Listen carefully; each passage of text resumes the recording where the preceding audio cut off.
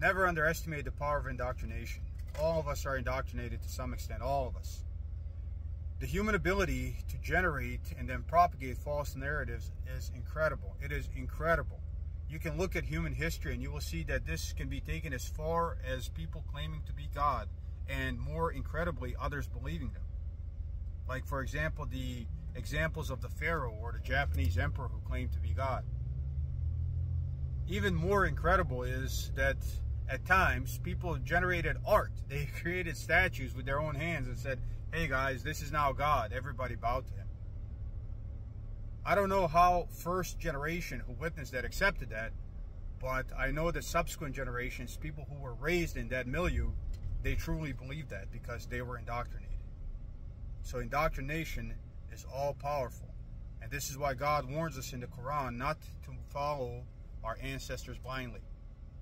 You cannot love a book that you have never read, nor can you hate a book, nor should you hate a book that you've never read.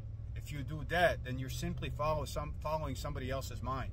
You are indoctrinated. So we have to hear God when He revealed. Read. Read in the name of your Lord who created, who created man from a clot. Read, and your Lord is most bountiful, who teaches by the pen, who teaches man what he did not know. All of us have a duty to take control, control over our own lives and recognize the power of indoctrination. If you look through writings even of ancient philosophers, like for example, uh, Plato's allegory of the cave, that is what he tried to teach people, indoctrination. So recognize that some of the thoughts and firm beliefs that you may have are not your own. And then research them.